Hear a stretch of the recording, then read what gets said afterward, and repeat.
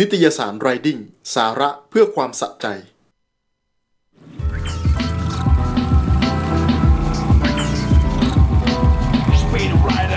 ครับผมเข้าสู่ช่วงสุดท้ายของรายการ Speed Rider กันนะครับ ทางช่อง Speed Channel True Vision 691 ครับเบรกนี้เป็นสุดท้ายนะครับ พบกับพวกเราเป็นประจำได้ทุกวันจันทร์ถึงวันศุกร์เวลา 18นาฬิกา30 นาทีถึง 20นาฬิกา40 นาทีครับ เบรกนี้รับสายแล้วก็เช่นเคยครับ ก่อนหน้านี้ขอเข้าสู่อะไรนะ ขอขอบคุณผู้สนับสนุนใจดีกันครับผมเนียสารรายเดือน Fast Bike Thailand คิดถึงอะไรแต่งคิดถึง X Speed โซ่บิ๊กไบค์คุณภาพมาตรฐานต้อง DID กล้อง GRP เร็วแรงสั่งได้ อะมายังมีเวลาอยู่เปิดสายนะครับมาเลยโทครับ รเข้ามาพูดคุยกันได้ แล้วก็มีปัญเมหาอะไรเข้ามาข้องใจได้เกี่ยวกับรถยนต์นะไม่เข้าใจไม่เข้าใจผมนะเกี่ยวกับรถยนต์ เข้ามาได้ จะซื้อ TZM 150มือสองมีจุดที่ไหนไหนที่ต้องอะ ที่ต้องดูบ้างครับ ซื้อที่ไหนเนี่ย TZM TZM มีมียังมีขายอยู่ครับมีพี่บอลขายอยู่ไหม ยังเขามีครับบอกยัให้งมีมีจุดไหนต้องดูบ้าง อ๋อ TZM ยามาฮ่า TZM ร้อยใช่ห้าสิบนะ อืม จริงๆ ตัวนี้เป็นรถที่ ตอนที่เปิดตัวตอนนั้นเป็นรถที่ค่อนข้างแรงมากเลยโอ้เดชาไกรศาสตร์ใช่ เฉลิมพลเอ้ยเอ้ยเฉลิมพลนี่ตอนนั้นอเฉย่างลิมพลเฉลิมพลกับยังไม่มาใช่เฉลิมพลขี่สู้อยู่นั้นก็ตอนนั้นก็คิดดูแล้วกันว่าความเร็วในตัวเดิมๆเนี่ยเคยบิดได้ถึง 195 นะ อ่าฮะผมเคยไปทดสอบมาบิดได้ถึง 195 บิดทางตรงเนี่ย อ่าฮะ จริงๆ แล้วรถมันจะไม่ไม่ไม่เหลื่อมกันเลยครับ TZM KR แกมแกมมาแล้วก็ NSR เนี่ยวิ่งสูสีกันมากเลยครับ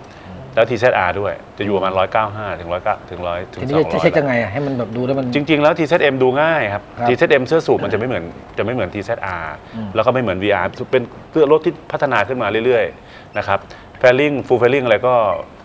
ก็ครบๆนะครับ เพราะว่ามันหาอะไรปีกย่อยเนี่ยมันจะแพง อืม นะครับควรจะซื้อแบบครบๆ จริงๆ ครบๆ เมื่อเมื่อต้นเดือนเนี่ยเอ่อลูกศิษย์ผมจะมาขายให้แค่หมื่นสองเองนะ อืมไม่ไม่แพงมากอืม นะครับ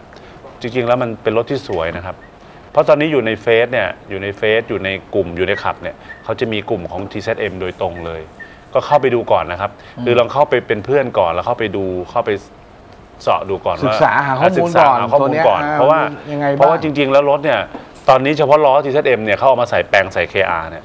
ล้อกลายเป็นล้อที่หายากครับไปแล้ว สามก้าน ใช่ครับล้อตัวนี้เป็นเป็นล้อหลัง 17 ไงอืมเพราะจริงๆจริง ๆ ทุกรุ่นเนี่ยครับ KR ทุกรุ่นจะเป็นล้อหลังแปด18 หมด พอได้ล้อหลัง 17 มาแปลงใส่รู้สึกดีอืมอ่าแล้วก็หน้าแล้วก็ใช้ร่วมกับ ZX ได้เลยเพราะ ZX ก็ล้อ17 เหมือนกัน ครับ ตัวนี้โอเคนะคตัวรับนี้ต้องมีอะไรนะไอ YP ใช่ไหม YPVS ครับ YPVS บอกว่า YPVS วิธีเช็คหนึ่งว่าละมันเปิดไหมใช่ครับตรวจอ่าตรวจสอบว่าลากที่รอบเท่าไหร่แล้วปุ๊บเสียงเปลี่ยนไหมใช่ 6,000 ครับ 6,000 รอบ6,000รอบใช่ไหม6,000 รอบครับ 6,000 ถึง6เอ่อ4,000 ถึง 6,000 รอบนี่มีการเปลี่ยนแปลงละอ่า ในเรื่องของรอบ RP เอ่อ YPVS นะครับ YPS ทำงานก็ทำงานรอบก็กวาดแล้วก็เสียงเปลี่ยน ใช่ นี่ต้องเช็คก่อนนะว่าทำงานไหม ใช่ครับใช่ผม อ่า ตัวนั้นต้องเช็คนะ ครับเช็คเช็คให้นิดนึงนะคทำรับงานวิ่งผมไม่ออกแล้วรถจะวิ่งตื้อๆเนี่ยทีเซนเนี่ยใช่วิ่งไม่ถ้าได้ขี่แล้ววิ่งตื้อๆเนี่ย YP ไม่ทำงาน ใช่ บางทีไปซื้อมือสองพี่บอลไปเจอไปยังไม่เปิดแฟลิงใช่ไหมครับ ครับ พอไปเปิดดูเอากลายเป็นเสื้อ VR ไปซะงั้นจริง ๆ แล้วมันมีการ โดนหมกใส่มาแฟลลิ่งเงี้ยเราโดนหมกมาสิ ใช่ อะไรยังพอหาได้ครับที่ยามาฮ่า ยังยังเบิกได้อยู่นะครับผมนะครับ ก็สวยชอบด้วยครับ เคยขี่แต่ Honda Wave จะข้ามไปขี่ Honda Rebel 300 แล้วอ๋อได้ไหมเหรอไม่ใช่ปัญหาพอไหวไหมครับโอ้ย โอ้ไม่เกี่ยวครับ ไม่เกี่ยวเลยไม่เกี่ยวครับขับได้บอกแล้วรถได้ซีคบซีเยอะไม่ใช่มันเราน่ากลัวมันอยู่ที่มือแล้วเราไม่บิดมันก็ไม่ไป จริงๆ แล้วรีเบลมันเป็นรถที่น่าใช้เลยนะในใช่ ผมว่ามันสวยนะ วันนี้เพื่อนเพื่อนที่ห้วยขวางเขาก็มาถามดูว่าเล่นได้ไหมแล้วก็บอกเล่นได้นะเขาเพิ่งขายไทอัมไป แต่รอรถนิดนึงนะ ช่วงนี้รถขาดตลาดเลยโอ้ใช่ ยอดจองถล่มทลาย ใช่Rebel ยากมาก ก็เอาง่ายๆผมไปทริปเนี้ยกับมิกวีพระรามสามครับ ยังไม่ยังไม่มี Rebel สักคันเลยอืม Rebel ห้าร้อยก็ไม่ไม่มีรถเลย ใช่ เพราะว่ายอดจองถล่มทลายก็ต้องรอรับมอบรถกันไป ใช่นะครับครับ GSX 750รอชมรีวิวครับผม โอ้โห ใกล้แล้วครับ ตอนรนี้ออยู่เหมือนกันครับ ตอนนี้เริ่มทยอยส่งรถกับลูกค้าแล้ว เพราะฉะนั้นรถจะมี demo แล้ว เดี๋ยวผมจะไปกับพี่ตู่จะเอารีวิวมาให้นะครับครับเรามาดูดีว่า top speed 240 กิโลเมตรต่อชั่วโมงนั้นจะโอ้สมคำร่ำลือหรือเปล่า แต่บ้านเราจริงไหมถ้า test ขนาดนั้นต้อง test ในสนามแล้วนะต้อง test test ตู่จะไปขี่ไหนในซอยเหรอะไม่ได้ไม่ได้ต้อง test ของในที่สไม่นามมีเนี่ยที่บางกอกแรให้กละขี่ต้องสนามต้องช้างสนามสนามช้างก็คงก็ไม่มีปัญหา test ได้ครับสนามช้างนะครับอะ ฟีโน่ครับ อยากใส่จาน disc หน้าของจูปิเตอร์ได้ไหม เพราะว่าตอนนี้ตอนตอนนี้เป็นไงฮะ จานเดิมมันสึกมาก รถวิ่งดังอีดอีดต้องดัดแปลงอะไรบ้าง เอาแล้วทำไมไม่ใส่จานเดิม จานเดิมดีกว่าครับ ของฟิโน่มันมีคาลิเปอร์ของมันตรงรุ่นนะอืมถ้าเราไปเปลี่ยนเป็นจูปิเตอร์อะไรอย่างเงี้ยมันจะอาจจะข้ามรุ่นไปแล้ว ไม่ มันไม่แพงด้วยของเดิมดีกว่าครับ ไม่ควรไม่ควรไปดัดแปลงนะครับ ใช้ของเดิมนะครับ ผมอืมของเดิมชัวร์สุดแล้วก็อะไหล่แท้ นะครับไม่แพงด้วย อาจจะได้ทรงมันสวยบางอยากได้ทรงสวย ถ้าถ้าจะแปลงนะถ้าจะแปลงใส่ได้ทุกรุ่นครับถ้าจะแปลง ใช่ ถ้ากรณีแปลงนะดัดแปลงนะใส่ได้ทุกรุ่น แต่ว่าจริง ๆ แล้วคุณก็ต้องถูกบีบด้วยด้วยคาลิเปอร์เดิมไงแต่ถ้าคุณจะเน้นเอาจานใหญ่ คุณก็ต้องมาต่อขาคาลิเปอร์ทีนี้พอต่อขายึดอันตรายดิอันตรายแล้วเนี่ย คือเราต้องตัดนะครับต้องมาตัดแล้วต้องมาใช้เครื่องพัดมาตัดแผ่นลงแผ่นเหล็กขึ้นมาทีนี้ มันจะกลายเป็นอันตรายแล้วจุดยึดถึงเราจะแปลงอย่างดีอย่างอะไรเนี่ย มันอันตรายนะครับไม่อยากให้แปลงๆอืมนะครับเราใช้งานคนใช้ของเดิมนั่นแหละครับผมครับของเดิมดีที่สุดนะครับอ่าของเดิมดีที่สุด ครับ อะมีอะไรอีกไหมมีไหมครับเอ๊ะต่อไปโทรเข้ามาหาเราก็ได้นะ อืม นะครับทักทายต่างๆก็ได้หมดนะครับ ทาง 0 2 5 3 0 9 4 9 6 ถึง 98 นะครับ ส่วน SMS ก็ 4 8 2 7 7 7 2 พิมพ์4แล้วเป็นวักตามด้วยคำถามของท่านนะครับ มาเลย เวฟ125 ครับ หอนต้องเปลี่ยนอะไรบ้างครับ หอนหอนจากไหนมันหอนยังไงอะลูกปืนเครื่องไม่ลูกปืนล้อไม่เวลาลูกปืนเขาอะไรเวลาเขาเดินคันเร่งอย่างเงี้ยครับอ่าเวลาเดินคันเร่งรอบลึกๆเนี่ยมันจะมันจะมีหอนครับอ่าพี่บอมจริง ๆ แล้วมันเกิดจาก bearing bearing ที่ในเครื่องยนต์นั่นเองลูกปืนนั่นแหละครับลูกปืนลูกปืนลูกปืนในเครื่อง part engine เนี่ยมันจะมีลูกปืนประกอบเยอะแยะเลยครับเพราะฉะนั้นสาเหตุสาเหตุหลักเลยนะครับ น้องๆที่ที่ดังเนี่ยอันนี้อันนี้อันนี้อาจารย์เรือนอย่างนี้เลยว่า เอาฝา cover เนี่ยไปยิงทราย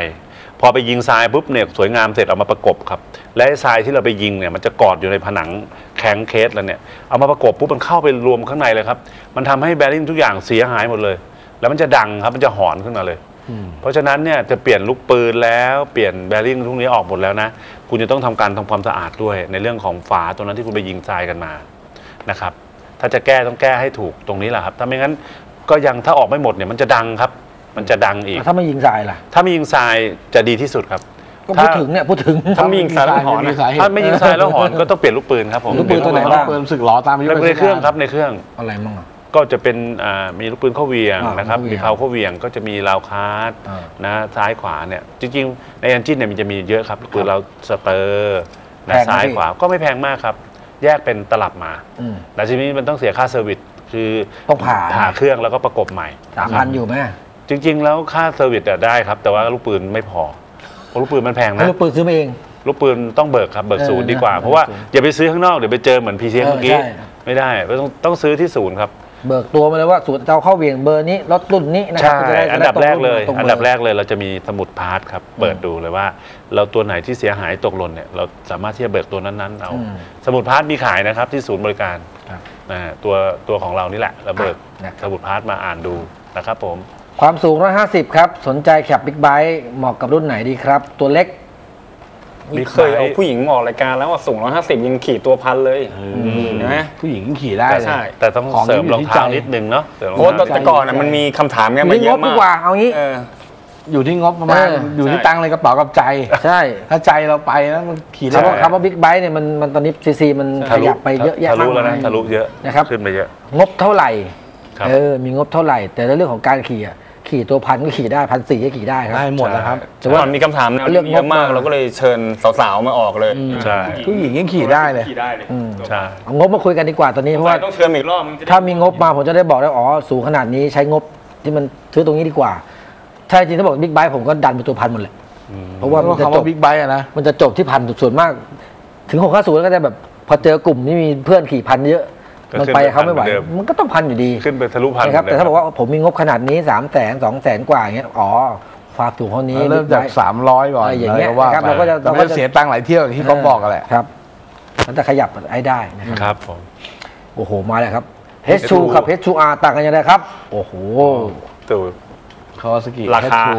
ราคาราใช่ไหมคคารับกับราตัวคาไอ้นี่ไงอ๋อระบบอัดอากาศครับระบบอัดซูเปอร์ชาร์จเขาซุปน่ะเปอร์ชาร์จครับตัวชาร์จ H2 มันไม่มีไม่มีระบบอัดราอาคากาศครับ ราคาต่างกันอยู่ที่ถ้าเผื่อเป็นตัว H2 ธรรมดาอยู่ที่เท่าไหร่ล้านหแปนึ่งดสี่เก้าแปดหนึ่งสี่เก้าแปดแล้วถ้าเผื่อว่าเป็นตัว R จะอยู่ที่โอ้โหสองล้านกว่าในสองล้านกว่าครับ สองล้านกว่าอืมมันต่างในเรื่องของระบบอ่าระบบอุปชาร์จนะครับ แล้วก็เครื่องยนต์ ระบบ supercharge ราคาคาลิเปอร์ต่างๆเนี่ยเปลี่ยนไปหมดเลย ความแรงครับ อ่าแล้วก็ระบบเบรกเพราะว่าเราลดมันแรงขึ้น ดูจานเนี่ยดูจานหน้า อื้อหือ ตัวนี้ครับ คะแนนโซฟูกูครับ เคยขี่บนสะพาน ราคาก็ทะลุกันไปแบบนะครับใช่ทะลุโลกความเร็ว 400 กิโลเมตรต่อชั่วโมงมาแล้วถ้าจะให้เอาจริงครับถ้าซื้อก็ H2 ธรรมดาเลยครับ เอาไม่อยู่แล้วครับ ใช่ก็เร็วมากล้านสี่ก็เร็วมากแล้วไอ้ล้าตัวนสี่เก้าแปดพอมันแล้วมันไม่สุด บ้านเรานับนับคันได้แล้วครับมีระบบเนี่ยอากาศนะพี่ตู่บ้านเรานับคันได้แล้วเนาะ ก็ก็เริ่มมีเยอะก็ขึ้นเริ่มนะมีมีนะ ผู้หญิงขี่ด้วยยันโอ้โหแม่ยันแม่ผู้หญิงที่สีชมพูอื้อหือครูเรียบร้อยใช่เหรอ frame ถักสีชรถมพูใหม่ๆเลยนะทำสีเหรอเลยเหรอ สีชมพูเรียบร้อยแล้ว frame ถัก ใครเลยอย่างอ่าน้องๆเราที่อ่าไอ้เจ้าน้องเบนซ์เนี่ยครับ H2 H2 ของเขาเนี่ยขึ้น dyno ความเร็วต้อง 400 กว่ากิโลเมตรต่อชั่วโมงนะ เกินทะลุ 400 ไปแล้วนะ แต่ว่าใช่ไม่มีพื้นให้สัมผัสไปถึงตรงนั้นสักทีมีที่ให้ขี่ ไม่มีที่ขี่ครับ เพราะแบบความเร็ว 300 มันก็ไม่ใช่เรื่องยากเอสำหรับร้อยตัวเฮดมาอีทูกแล้วนะครับเอร้อยครับยังมี อะไรยังมีเยอะไหมครับ อ่าเนี่ยซูซูกิเอร้อยเอร้อยจะมาเป็นรหัสอะไรอย่างเงี้ยใช่ครับ ไม่ใช่ครับซูซูกิเอร้อันนี้อยซูซูกิเอร้อยนะตัวนี้เป็นตัวเก่าครับใช่ตัวก่อนปี 2522 อีกครับเนี่ยจริง ๆ แล้วคลาสสิกตัวอะปี 2522 นี่จะเป็น A100P อืมตัวนี้จะเป็น A100 เก่านะครับจะมี A80 A100 แล้วก็จะมี A100P เนี่ยนะครับ อะไรยังมีอยู่ไหมมีครับยังมีมีอยู่แต่ว่าเราต้องเสาะหานิดนึงเพราะว่ามันจะมีกลุ่มครับ มีกลุ่มแล้วก็มีขับของ Suzuki ค A100 ลาสสิกไบค์ทั้งหลายอะ ครับผมเกิน 30 ปีนี่เป็นในเพจคลาสสิกแล้วมีคเจรัอบได้เข้าไปหาในเพจ Facebook ยังครับมี เจอแน่นอน แต่มันมันมีความสุขตรงไหนรู้ไหมครับ พอเราจะได้ใช้รถรุ่นเก่าเนี่ย เราเวลาเราหาของมาได้ชิ้นหนึ่งเนี่ย เรารู้สึกภูมิใจนะ แล้วแล้วคนที่เขามีของพวกนี้ไม่ใช่เขาจะห่วงนะครับ เวลาคนที่เล่นด้วยกันนะครับ เวลาเขาอยากได้เนี่ยเวลาสื่อสารกันเอาพอแค่ค่าอะไรพอแล้วก็ช่วยกันทำขึ้นแล้วมาแบ่งปันกันใช่ครับ อืมมันจะเป็นกลุ่มที่น่ารักไม่เหมือนพวกใช่รถแนวซิ่งนี่ปั่นราคาใช่กันเละเทะตัวนี้พวกนี้เขาจะแบ่งกันสวยมีครับอะไรสก็วย แบ่งไปใส่อยากให้มาขี่ด้วยกัน ใช่ครับ แล้วเวลาเขาขี่เขาก็ไม่ได้ขับเร็ว ครับแล้วเวลาไปออกทริปเอยจัดกลุ่มไหว้พระกันต่างๆเนี่ยไปวิ่งทำบุญทำบุญอะไรว่าไหว้พระไปเนี่ย วิ่งไปแจกของเด็กเนี่ยไปถึงราชบุรีเลยนะครับเนี่ย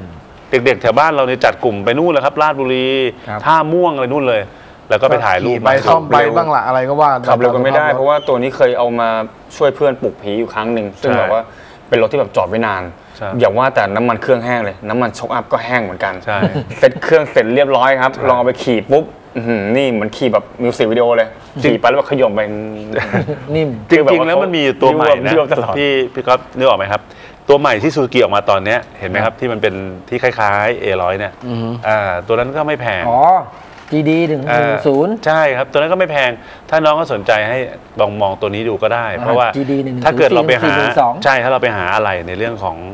อ่า A100 เนี่ยถ้าเกิดมันหายากไปนิดนึงเนี่ย ถ้าเกิดเราแบบว่าเหมือนกับอ่าความสามารถอะมีนะ แต่จริงๆ แล้วเวลาเนี่ยเราอาจจะต้องใช้เวลาหน่อยเอารถใหม่ไปเลยเอารถใหม่ก็โอเคนะสองตัวนี้เป็นคาบูนะครับ ตัว GD ใช่ GD คล้ายๆครับคล้าย ๆ กันเลย ทรงอย่างเงี้ยใช่นะครับแต่คว่าล้ายๆกันเลยจะราคาไม่แรงด้วย ราคาไม่แรงเพราะในซอยบ้านเราก็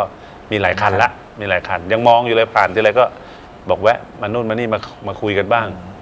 นะครับก็สวยครับผม SMS ต่อไป จะเลือกอะไรครับ ระหว่าง Sumer X 2017 กับ GT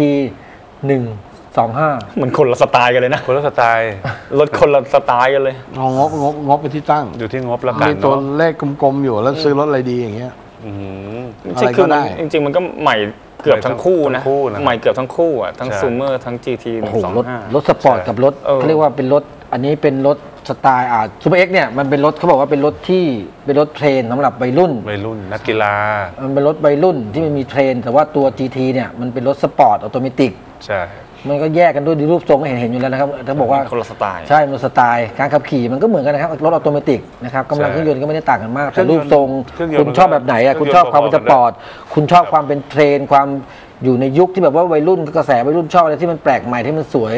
นะครับบอกว่าเป็น unblock นอกกรอบอะไรพวกเนี้ยนะครับอย่างตัว GT มันก็คือสปอร์ตดีๆนี่เองใช่นะครับแต่มันอยู่ในเรือนร่างของ automatic เพราะฉะนั้นใช่ในเรื่องของการขับขี่แน่นอนครับ มันก็ต่างด้วยสรีระในเรื่องของรูปรูปทรง อยู่ที่คุณชอบแล้วตรงเนี้ยนะครับ คุณเป็นคนที่แบบมีความสปอร์ตในตัวคุณอาจจะเลือกตัว GT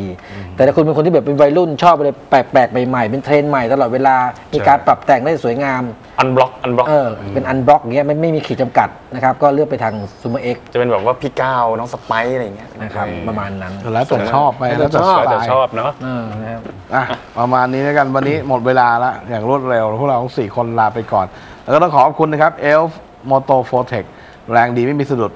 เพิ่มพลังปกป้องเครื่องยนต์อย่างเต็มประสิทธิภาพบิ๊กไบค์ต้องเอลนะครับพบกับพวกเราได้ใหม่ทุกวันจันทร์ถึงวันศุกร์ครับ ครับ ผมเวลา 18นาฬิกา30 นาทีถึง 20นาฬิกา40 นาทีครับ ทางช่อง Speed Channel t v i s i o n 691 ครับ แล้วกลับมาพบกับพวกเราได้ใหม่ครับ กับรายการ Speed Rider วันนี้เรา 4 คนลาไปก่อนครับ สวัสดีครับ สวัสดีครับ